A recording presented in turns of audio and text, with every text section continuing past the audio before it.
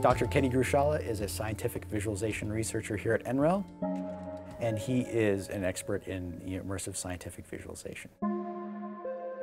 Also a really awesome dude. he only likes dark beer. Kenny is basically our fearless leader. Kenny's quiet intensity really is him having a lot of uh, inner dialogue, I think. There's a lot of stuff going on internally, and then you get the one little sentence out, but it's a, it's a good sentence.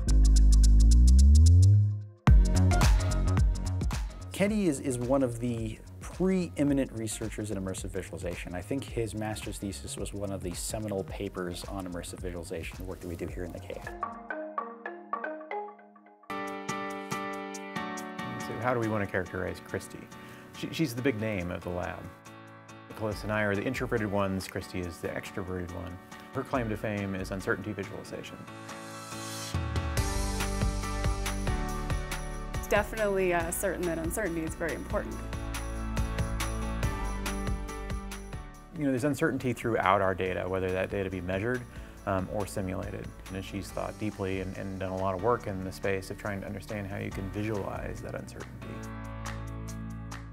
too often in a visualization, you're, you're given a number, but that number is not real. That number is fuzzy. And what Kristi has been working toward is, you know, throughout different types of visualizations, how you represent that fuzziness. That way you can make better decisions. She lives in this fuzzy world.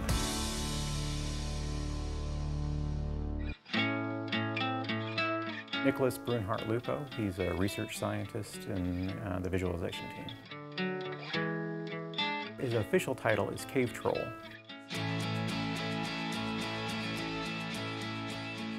He is kind of the primary manager of kind of the cave space, of the immersive space. Nicholas's happy place is C++, C++ and OpenGL. That's kind of where he loves to live.